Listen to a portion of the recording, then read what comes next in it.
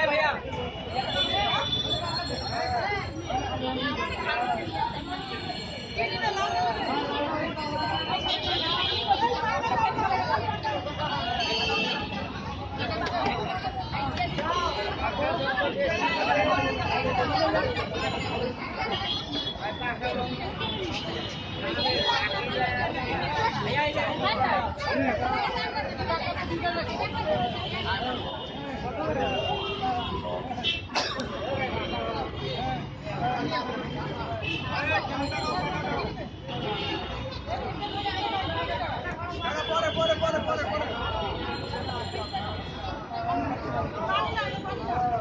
আগের পড়াশোনা এখন আমি আছে না বাংলাতে